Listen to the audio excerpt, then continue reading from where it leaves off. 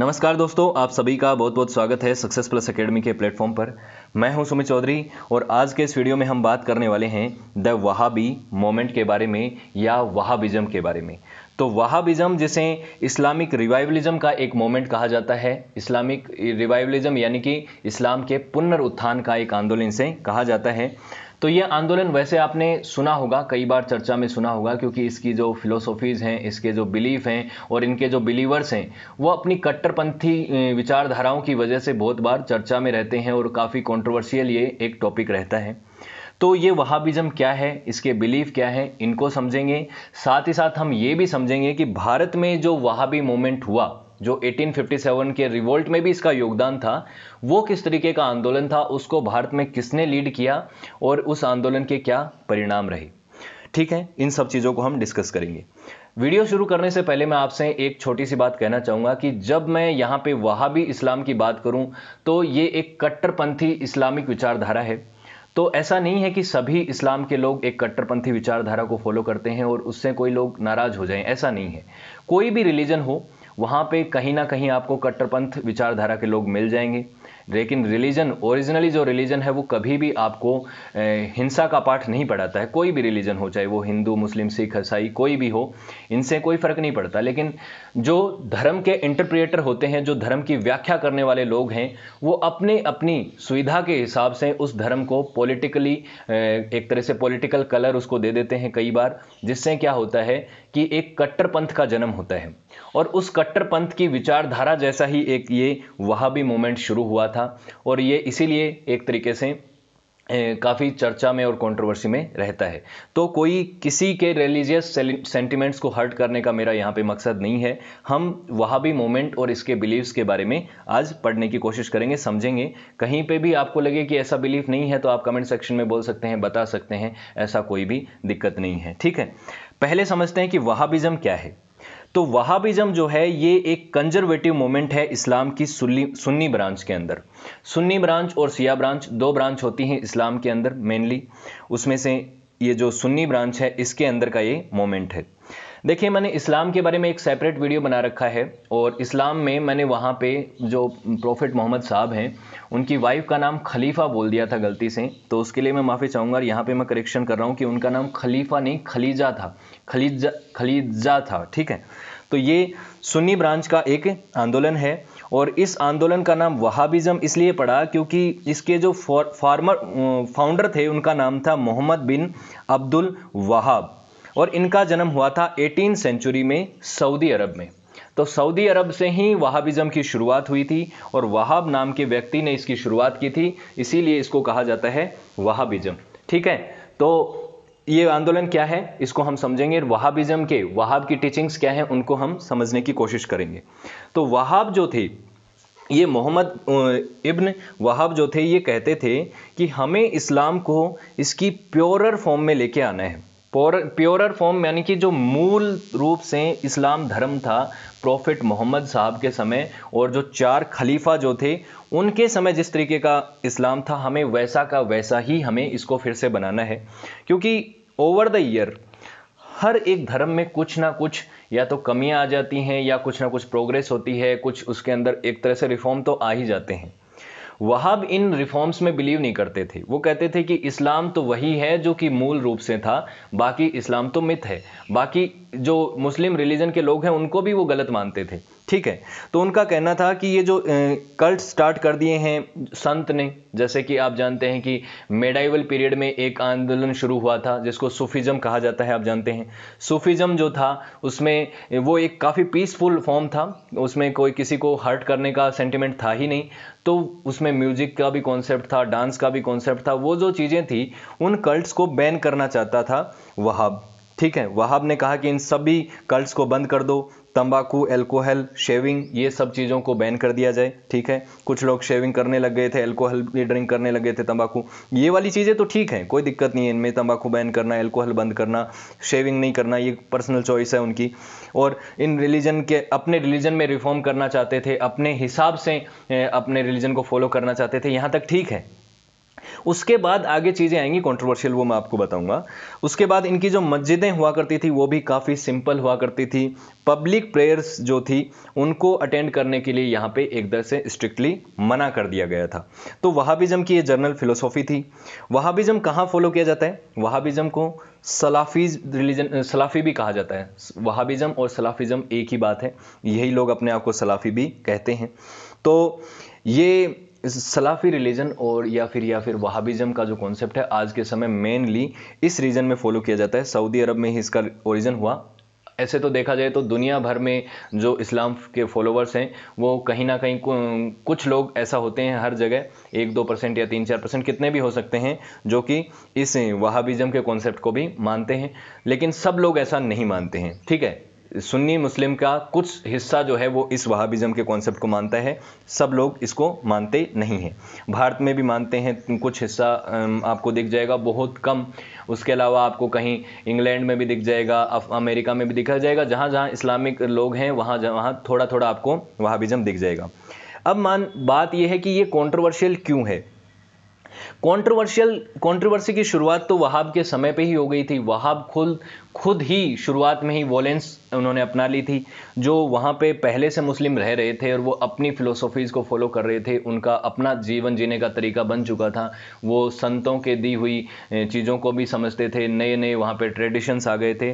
तो उनके ऊपर इन्होंने अटैक करना शुरू कर दिया, जो टॉम्स थे उनके ऊपर अटैक करना शुरू कर दिया वहाब ने, और इसकी वजह से इनको अपने ही घर से एक बार के लिए एक्सपेल कर दिया गया था, निकाल दिया गया था। ठीक है? उसके बाद जब वहाब की डेथ हो जाती है तो उसके बाद इनके जो फॉलोवर हैं, उन्होंने भी, जो भी लोग इनके आसपास थे, ना सिर्फ़ दूसरे धर्मों के लोग, बल्कि इस्लाम को के फॉलोवर थे, उनको भी इन्होंने मारना पीटना शुरू कर दिया था और मक्का को इन्होंने अपने कंट्रोल में ले लिया था 1803 में। तो इन्होंने जिहाद किसके खिलाफ कर दिया? मुस्लिम का मुस्लिम के खिलाफ ही जिहाद यहाँ पे शुरू हो जाता है कि वो मुस्लिम जो कि ये सलाफ रीजन को सलाफ वाले बिलीफ को नहीं मानते, वहाब के जो टीचिंग्स हैं उनमें नहीं मानते, उनका भी ये, उनको भी ये एक तरीके से काफिर कहते थे, उनके खिलाफ भी जिहाद करते थे। तो इनके बिलीफ क्या है? इनको समझते हैं कि ऐसा क्यों करते थे? इनका मानना था कि जो ओरिजिनल कुरान लिखी गई है ना वही है इस्लाम का मूल स्वरूप और जो प्रॉफिट मोहम्मद और जो चार खलीफा थे, उनकी जो टीचिंग्स हैं, उनसे बाहर कुछ भी नहीं होना चाहिए इस्लाम के अंदर। कोई नए रिफॉर्म्स की ज़रूरत नहीं है। हमें हमारा जो मूल इस्लाम है, उसी को, मूल कुरान है, उसी को फॉलो करना है। और जो लोग इसको नहीं मानते और अपनी नई नई धारणाएँ लेके आते हैं नए नए ट्रेडिशंस लेके आते हैं नए नए कल्ट्स लेके आते हैं, वो काफिर हैं। वो इस्लाम के दुश्मन हैं। और इस्लाम के दुश्मनों में काफिर में इन्होंने सभी को माना है। न कि सिर्फ़ क्रिश्चियन जूज हिंदू या फिर कोई जो बाकी दूसरे रिलीजन को तो काफिर माना ही है। साथ ही साथ वो मुस्लिम जो कि सलाफ को नहीं मानते, उनको भी इन्होंने काफिर में ही शामिल किया है। चाहे वो सिया मुस्लिम हो या सुन्नी कल्ट के ही दूसरे, सुन्नी ब्रांच के ही दूसरे मुस्लिम जो कि वहाबिज़म में नहीं मानते, उनको भी इन्होंने क्या माना? काफिर ही माना है। तो इन्होंने कहा कि एक तो दो ही तरह के लोग हैं इस दुनिया में। एक तो वो जो कि सलाफीज़ को मानते हैं, यानी वहाबी हैं और दूसरे, ये जो सलाफ़ी हैं, ये तो विनर हैं। और ये चूजन वन है, इनको ईश्वर ने चुना है और ये एक दिन हेवन में जाएँगे और ईश्वर के पास बैठने का इनको मौका मिलेगा। नेक्स्ट टू ईश्वर, ये इनको माना जाएगा। और दूसरे कौन हैं? काफिर हैं, जिनको क्या मिलेगा? जिनको हेल में जाना होगा। वो लोग एक तरीके से ईश्वर के ईश्वर के डिनायर हैं वो। वो दूसरे धर्मों को मानते हैं या मतलब इस्लाम में भी मानते हैं, लेकिन ये वहाबिज़म को नहीं मानते हैं तो वो काफिर हैं। तो काफिर हैं या फिर मुशरक हैं। दो ही तरीके के लोग हैं। मुशरक वो हैं जो कि वहाबी हैं और काफिर वो हैं जो वहाबिज़म को नहीं मानते हैं। इस तरीके की कट्टरपंथ विचारधारा इनमें हुआ करती थी। तो क्रिटिसिज्म क्या है? वहाबिज़म का जो क्रिटिसिज्म करने वाले लोग हैं वो सभी लोग हैं। इवन मुस्लिम्स में भी इनके क्रिटिसाइजर आपको मिलेंगे जो कहेंगे कि ये लोग, इन लोगों की वजह से ये इस्लाम का नुकसान कर रहे हैं। नुकसान इसलिए कर रहे हैं क्योंकि इतने ज़्यादा कट्टरपंथी हैं कि वो दूसरों के खिलाफ हिंसा भी करते हैं, हिंसा करते हैं। ओसामा बिन लादेन जैसे लोग और तालिबान जैसे जो संगठन हैं आईएसआईएस जैसे संगठन हैं, वो ऐसा तो है नहीं कि वो सभी मुस्लिम रिलीजन के लोगों को वो रिप्रेजेंट करते हैं। वो एक विचारधारा को रिप्रेजेंट करते हैं और वो विचारधारा इस्लाम का ही नुकसान कर रही है। वो इस्लाम का नुकसान इस तरह से कर रही है कि जो एक जर्नल आइडिया बन जाता है, जब ओसामा बिन लादेन ने अमेरिका पे अटैक किया था, जो 9/11 हुआ था, उसके बाद एक जर्नल कॉन्सेप्ट बन गया था और इस्लाम के जो फॉलोअर थे, उनको मिसट्रीट किया जाने लग गया था। अमेरिका के बहुत सारे हिस्सों में इस्लामिक बिलीवर्स के खिलाफ हिंसाएँ होने लग गई थी, बहुत जगह वायलेंस होने लग गई थी। लेकिन उनकी तो कोई गलती नहीं थी। हर कोई व्यक्ति तो इस तरीके की कट्टरपंथी विचारधारा में विश्वास नहीं रखता। लेकिन ऐसी एक्सट्रीमिस्ट विचारधारा होने की वजह से वहाबिज्म के लोग इस्लाम का ही नुकसान कर रहे हैं और एक क्या कर रहे हैं मतलब एक जर्नली केओस क्रिएट कर रहे हैं और सभी जगहों पे। ठीक है? वहाबिज्म में भी कुछ लोग पैदा हुए होंगे, बाद में जो वहाबिज्म मान लो उनके पेरेंट्स फॉलो करते होंगे या फिर कोई विचारधारा फॉलो करते होंगे, लेकिन वो बात हो सकता है कि वो शांति प्रिय हों। लेकिन एक जो जर्नल आइडिया है वहाब की टीचिंग्स को मानने वाले लोग, जो कि ये कहते हैं कि हमें पूरी तरीके से पूरे विश्व पे ऊपर इस्लाम का ही राज करना है पॉलिटिकली भी इसको कलर किया जाता है तो वो एक गलत चीज़ है जिससे क्या है कि दूसरे लोग उससे इम्पैक्ट होते हैं। अब बात करते हैं कि भारत में वहाबी मूवमेंट किस तरह से आया और इसके क्या सोशियो पॉलिटिकल इम्पैक्ट हैं। यहाँ पे भी आप इस इनकी टीचिंग्स को समझ जाओगे कि ये लोग क्या चाहते हैं और वो आपको चीज़ें समझ में आएँगी। हालाँकि वहाबी मूवमेंट जो इंडिया में हुआ, उसका 1857 के रिवोल्ट में कुछ योगदान भी है। अठारह सौ सत्तावन की क्रांति में ये ब्रिटिशर्स के खिलाफ लड़े थे, वो भी एक एस्पेक्ट है इसका। लेकिन बाकी एस्पेक्ट क्या है वो भी समझते हैं, दोनों ही समझेंगे। तो भारत में जब आंदोलन हुआ तो 1830 से लेकर 1860 के बीच में ब्रिटिश सुप्रीमेसी को इन्होंने जज के टक्कर दी, अच्छे से टक्कर दी, क्योंकि ये ब्रिटिशर्स के भी खिलाफ थे, उनको भी एक तरीके से अपने रिलीजन के खिलाफ मानते थे। और कई बार क्या है आप जानते हैं कि ब्रिटिश अथॉरिटी जो है, वो दूसरे धर्मों के लोगों के ऊपर अपने कानूनों को थोपती भी थी। चाहे वो हिंदू सोसाइटी हो या मुस्लिम सोसाइटी हो, आप जानते हैं कि कई सारे रिलीजियस आंदोलन हुए हैं इस ब्रिटिश हुकूमत के खिलाफ। चाहे सन्यासी रिबेलियन हो, वो भी एक तरीके का थोड़ा सा आप देखेंगे तो इस तरीके का आंदोलन था। जिसमें थोड़े रिलीजियस सेंटिमेंट्स भी हर्ट हो रहे थे लोगों के और सोशियो पॉलिटिकल इम्पैक्ट उसके थे ही। तो इस तरीके के आंदोलन हो रहे थे क्योंकि ब्रिटिशर्स भी जानबूझ के अपनी पॉलिसीज़ को दूसरे धर्मों के ऊपर इम्प्लीमेंट करना चाहते थे फोर्सफुली जो कि दूसरे धर्मों के लोगों को पसंद नहीं आता था। साथ ही साथ वो अपनी मिशनरी भी यहाँ पे लेके आते थे, जो कि फोर्सफुली और इसी तरीके के बर्ग ला के लोगों को, हिंदू या मुस्लिम लोगों को एक तरीके से क्रिश्चियनिटी में कन्वर्ट कर रहे थे। तो ये भी कारण थे कि उनके खिलाफ आंदोलन हुए तो भारत में वहाबी मूवमेंट को जो लीड करने वाले व्यक्ति थे, उनका नाम था सैयद अहमद ऑफ़ रायबरेली। रायबरेली का नाम क्यों ले रहा हूँ मैं? देखिए, एक सर सैयद अहमद खान हैं, जो कि अलीगढ़ वाले, वो अलग हैं, और ये सैयद अहमद ऑफ़ रायबरेली अलग हैं। इन्होंने वहाबी मूवमेंट की भारत में शुरुआत की थी। ये अब्दुल वहाब की टीचिंग्स में बिलीव करते ही थे, साथ ही साथ एक और संत थे दिल्ली के शाह वलीउल्ला इनकी टीचिंग्स में भी बिलीव करते थे और शाह वलीउल्ला का बेटा था, अब्दुल अज़ीज़ इनकी टीचिंग्स में भी बिलीव करते थे। तो कौन इंपॉर्टेंट फिगर हो गए? सैयद अहमद ऑफ़ रायबरेली, शाह वलीउल्ला और अब्दुल अज़ीज़। अब इन लोगों की विचारधाराओं को समझते हैं, उसके बाद ये आंदोलन आपको समझ में आएगा कि क्या आंदोलन था। शाह वली उल्ला जो थे, उनकी जो टीचिंग्स हैं, वो इतनी एक्सट्रीम नहीं थी एक्सट्रीम नहीं थी बेसिकली जैसी अब्दुल वहाब की टीचिंग्स थी और आगे चल के इनके बेटे की टीचिंग हो जाएँगी। शाह वली उल्ला की टीचिंग्स में इन्होंने कहा कि भाई, दो हिस्सों में इनकी टीचिंग्स को दो टू फोल्ड में हम समझ सकते हैं। एक तो ये चाहते थे कि ये जो सुन्नी इस्लाम के अंदर चार स्कूल हैं सुन्नी इस्लाम को भी चार स्कूल में बांटा गया है। उनकी अलग अलग टीचिंग्स हैं। एक हैं हनाफी, साफ़ी, मलिकी और हनबली। इन चारों स्कूल के जो लोग हैं, उनके बीच में वो एक हारमोनी क्रिएट करना चाहते थे। वो चाहते थे कि सुन्नी इस्लाम के जो लोग हैं, वो सब एक साथ रहें। वो अलग अलग ना रहें अपनी अपनी टीचिंग्स के वजह से। आगे चल के और ज़्यादा उनमें एक तरह से बीच में दूरी ना बन जाए। तो उसके बीच में वो हारमोनी इस्टेब्लिश करना चाहते थे, जो कि एक अच्छा आइडिया है। उसके बाद ये चाहते थे कि रिलीजन जो है, उसका जो इंडिविजुअल रिलीजन है इंडिविजुअल रिलीजन को इन्फेसाइज करते थे ये। इंडिविजुअल रिलीजन को यानी कि जो हर व्यक्ति जो अपने आप से इंटरप्रिएट करता है, कुरान को या हदीत को, वो ये कहते थे कि वो ठीक है, वो पर्सनल चॉइस है, उससे ज़्यादा फ़र्क नहीं पड़ता और वो आदमी को अपने हिसाब से इंटरप्रिएट करनी चाहिए। उसमें किसी दूसरे व्यक्ति की ही मान के पूरी तरह से ये नहीं कहना चाहिए कि यही एक बात है, इसके अलावा कोई दूसरा रास्ता हो ही नहीं सकता। तो ये कुरान को भी मानते थे और हदीत को भी मानते थे और कहते थे कि ये दोनों ही लाइबल सोर्स हैं, जो प्रॉफिट मोहम्मद की टीचिंग्स को आपको बताते हैं। देखिए, कुरान तो आप सभी जानते हैं कि कुरान जो है वो होली बुक है इस्लाम में। हदीत क्या है?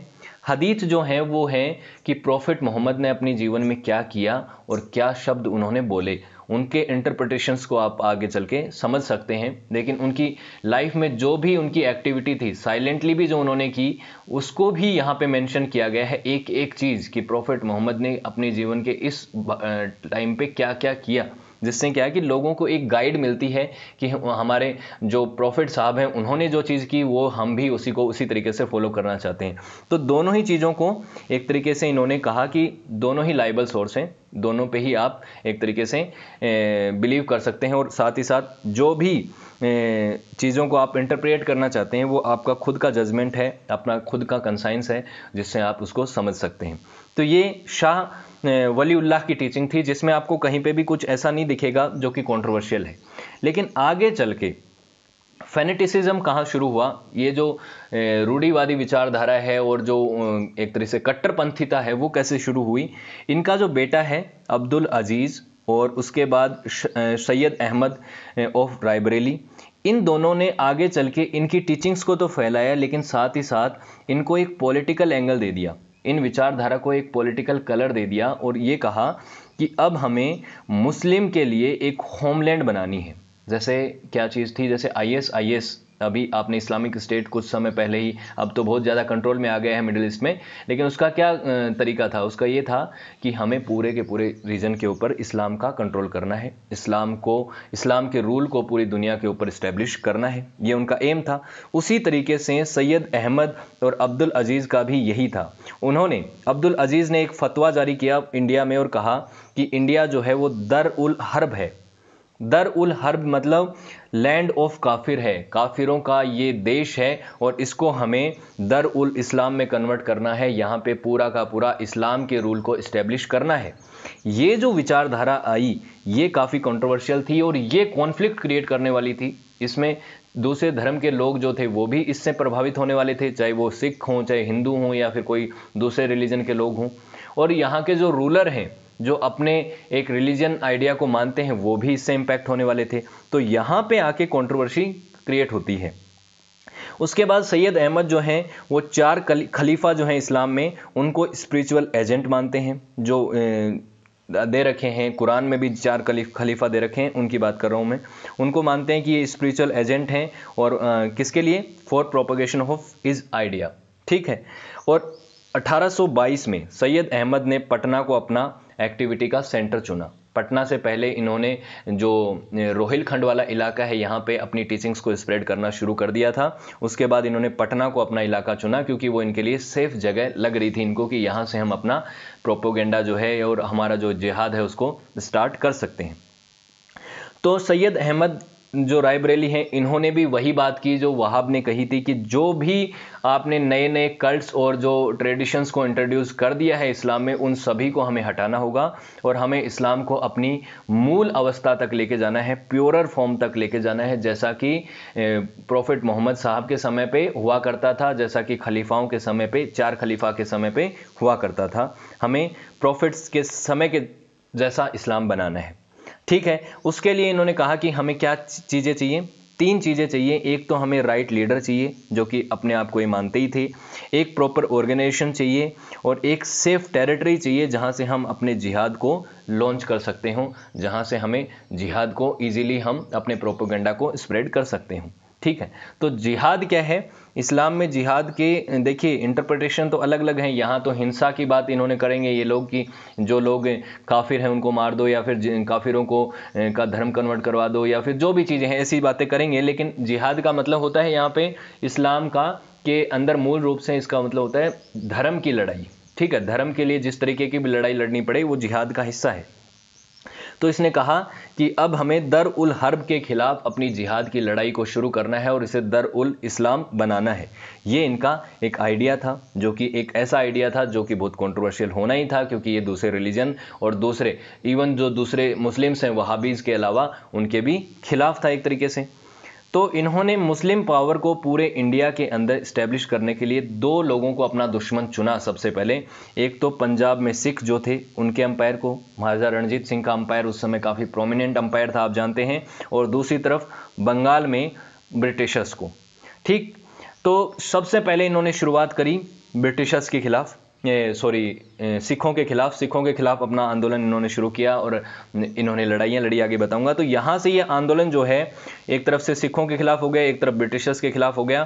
तो एक रिलीजियस आंदोलन जो था, अभी रिलीजियो पॉलिटिकल मूवमेंट बन चुका था, क्योंकि यहाँ पे पॉलिटिक्स इन्वॉल्व हो चुकी थी। ये चाहते थे कि यहाँ पे सिखों के जो अंपायर है, इसको ख़त्म करके भी हम इस्लाम का रूल इस्टेब्लिश करें और यहाँ पे जो ब्रिटिश हुकूमत है बंगाल में, इसको ख़त्म करके भी हम यहाँ पे हमारे इस्लाम का यहाँ पे रूल इस्टेब्लिश करें। ठीक? तो यहाँ से ये आंदोलन जो है शुरुआत हुई और over the time Bihar, Bengal UP और नॉर्थ वेस्ट इंडिया के जो हिस्से हैं, यहाँ पे ये आंदोलन पूरी तरह से फैल चुका था। नॉर्थ वेस्ट इंडिया के हिस्से में यानी कि पंजाब का वो रीजन पेशावर वाला रीजन आज तो पाकिस्तान का हिस्सा बन चुका है काफ़ी हद तक, लेकिन पेशावर वाला जो रीजन है पाकिस्तान वाला, वहाँ पे ये काफ़ी फैल चुका था। शुरुआत में इन्होंने 1830 में पेशावर को अपने कंट्रोल में भी कर लिया था, लेकिन बाद में, क्योंकि सिख अंपायर बहुत पावरफुल था उस समय रणजीत सिंह जी के अंडर तो एक लड़ाई हुई जिसको कहते हैं बैटल ऑफ़ बालाकोट इसमें यहाँ पे सैयद अहमद जो हैं, उनकी हार हुई और इवन सैयद अहमद को यहाँ पे मार दिया गया इस युद्ध में और इस लड़ाई के अंदर, और सिखों की जीत हुई अठारह सौ इकतीस में। ठीक, उसके बाद क्या होता है? सैयद अहमद की डेथ के बाद ये आंदोलन जो है सीमित हो गया पटना की साइड नॉर्थ वेस्ट फ्रंटियर पे ये लोग हार चुके थे सिखों से तो अब ये पटना में शिफ्ट हो गए, जहाँ पे इनका मेन हब था, जहाँ से इन्होंने अपने सेंटर चुना था आंदोलन को फैलाने का, वहाँ तक ये आंदोलन सिमट के रह गया। उसके बाद इनके जो आंदोलन जो सैयद अहमद के फॉलोवर्स हैं, उनको कहा जाता है मौलवीज़। और उसके बाद जानते हैं कि 1845 में पहला एंग्लो सिख वॉर हुआ और अठारह सौ उनचास में दूसरा एंग्लो सिख वॉर हुआ। दूसरे एंग्लो सिख वॉर में सिख अंपायर पूरी तरीके से हार चुका था। ब्रिटिशर्स की यहाँ पे जीत हो चुकी थी। ईस्ट इंडिया कंपनी ने सिख अंपायर को अपने कंट्रोल में ले लिया। तो अब वहाबीज के सामने पहले दो दुश्मन हुआ करते थे, इनके लिए दो टारगेट थे, अब इनके पास एक ही टारगेट था सोल टारगेट वो थे ब्रिटिशर्स। कि अब तो हमें 1850 आते आते तो आप जानते हैं कि पूरे भारत पे ही ब्रिटिशर्स का एक तरह से कंट्रोल हो चुका था। कुछ कुछ अंपायर जो बचे हुए थे छोटे छोटे उन्होंने सब्सिडरी अलायंस साइन कर ली थी तो मेनली ब्रिटिशर्स ने पूरे इंडिया को कंट्रोल कर लिया था। तो यहाँ पे सिख अंपायर से तो हार गए, लेकिन अब ब्रिटिशर्स के खिलाफ इनकी जंग शुरू होती है। तो अठारह सौ सतावन की क्रांति में और उससे पहले भी वहाबीज कंटिन्यूसली अपने जिहाद को जारी रख रहे थे ब्रिटिशर्स के खिलाफ।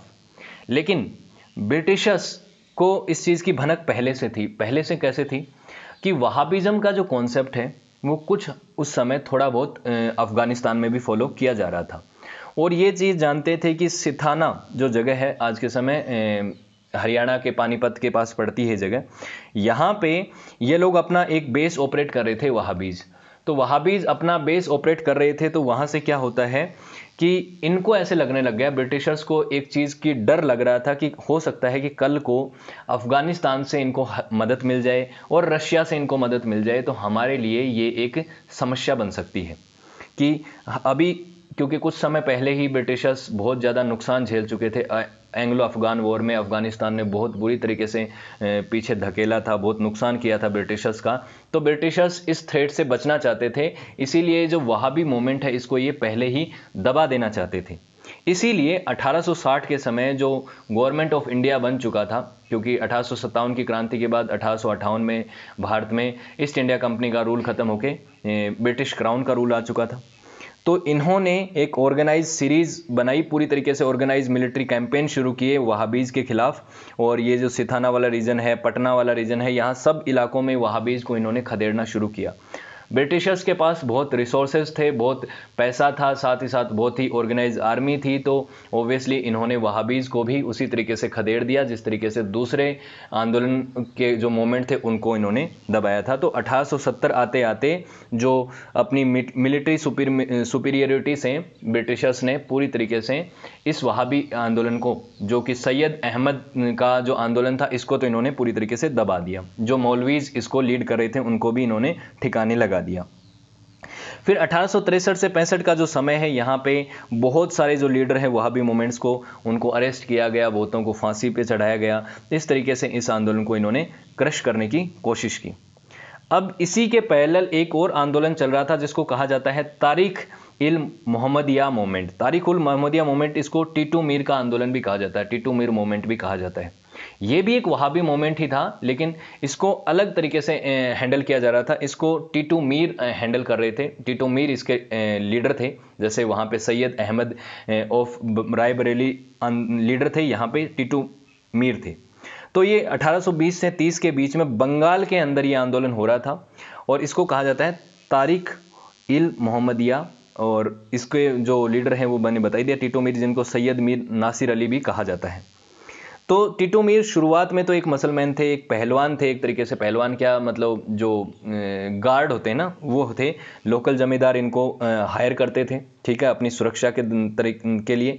फिर ये मक्का गए एक बार मक्का गए उसके बाद सैयद अहमद रायबरेली वाले से ये मिले, उनसे मिले, उनकी टीचिंग्स को ये फॉलो करने लग गए, और उसके बाद ये भी वहाबिज़म के एक तरीके से समर्थक बन गए, और बसारत, जो वेस्ट बंगाल का हिस्सा है, वहाँ पे इन्होंने अपनी टीचिंग्स को प्रीच करना शुरू किया अठारह सौ सताइस में।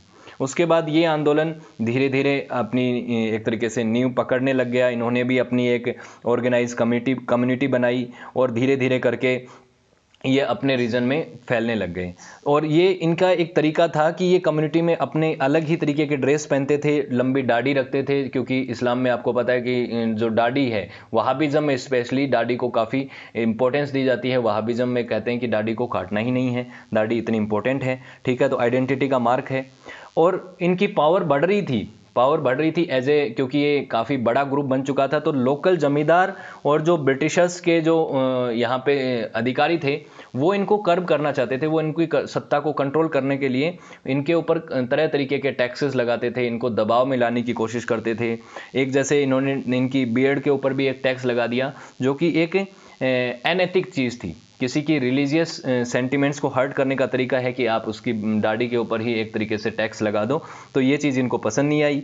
ये पसंद नहीं आई तो इन, ये कॉन्फ्लिक्ट होने की वजह से, चाहे वो हिंदू लैंडलॉर्ड्स हों, चाहे ब्रिटिश लैंडलॉर्ड्स हों, जिनको भी अपॉइंट कर रखा था तो ये जो दाढ़ी वाली टैक्स है या फिर जिस तरीके से इनके ऊपर दबाव डालने की कोशिश थी, इससे क्या हुआ कि ये कॉन्फ्लिक्ट शुरू हुआ ब्रिटिश एडमिनिस्ट्रेशन और इन जो टिटू मीर के समर्थकों के बीच में।